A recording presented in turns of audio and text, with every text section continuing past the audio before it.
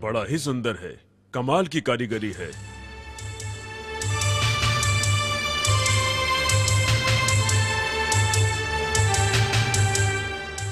रुक जाइए महाराज। रुकिए महाराज मैंने सिंहासन में एक बाल लगा हुआ देखा है। मुझे उसकी जाँच की इजाज़त दीजिए महाराज। बाल? किसका बाल है? ये तुम क्या कह रहे हो? मैं आपको बाद में सब कुछ बता दूँगा महाराज। पहरेदारों इसकी जाँच करो।